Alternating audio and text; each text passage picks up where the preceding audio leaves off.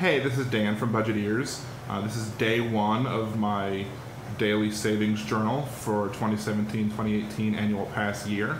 I am going to be adding up all of what I have saved over the course of this trip and over the course of the next year to show you how much I can save and therefore you can save uh, using all the tips and tricks that I give here at budgetears.com. So before this trip I already bought uh, my base passes, and I'm not going to include those in my savings calculation for today. Uh, today I did four things. I upgraded those passes to annual passes um, using Disney gift cards that I bought at Target, and the cost to upgrade the cards was $1,614.56.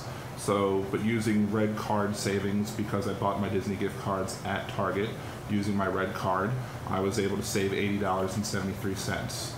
I then I went ahead and bought the Tables in Wonderland card. Uh, the annual pass gives you a $25 discount on that, and then so it's 150 bucks. But I also purchased that using Disney gift cards that I got from Target with the red card savings.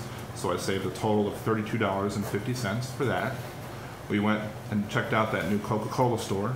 Um, we saved 50 cents using my red cards and also got an AP discount of a dollar and five cents.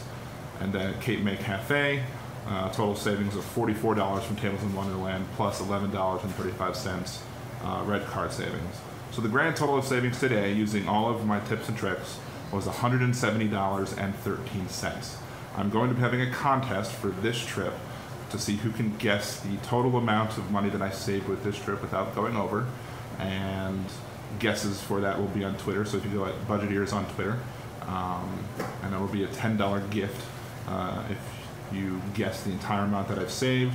Uh, the guesses are due by Wednesday, and if we get a certain amount of followers on Twitter and on my YouTube channel, I may go ahead and up that to a $50 gift card, and I will give details on that over on my blog site at budgetears.com as to how many followers on Twitter and subscribers on YouTube that I will need to see in order to upgrade that from a $10 gift card to a $50 gift card.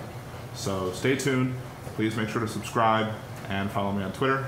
And stay tuned for the uh, more amounts that I'll be adding to the totals of my trip so you can make your best guess. All right, thank you very much. Have a good night. Bye.